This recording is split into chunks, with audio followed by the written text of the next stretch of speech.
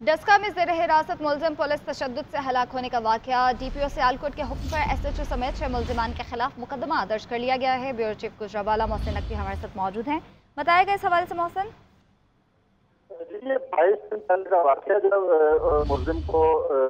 تھانے میں مبینہ تشدد سے اس کی حالت غیر ہوئی، اس کے بعد اسے اسپتال منتقل کر دیا گیا، جس سے اس کی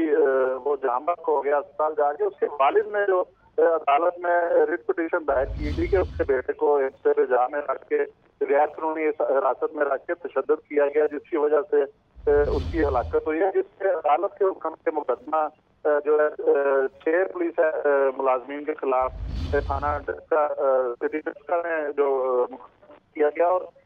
جو سب سے اہم بات ہے کہ مقدمہ جو ہے وہ ایف آئی آر درج کر کے انکوائری کی گئی اور مقدمہ خارج بھی کر دیا گیا ہے اس ملزم کی ہلاکت کا ٹھیک ہے شکریہ آپ کا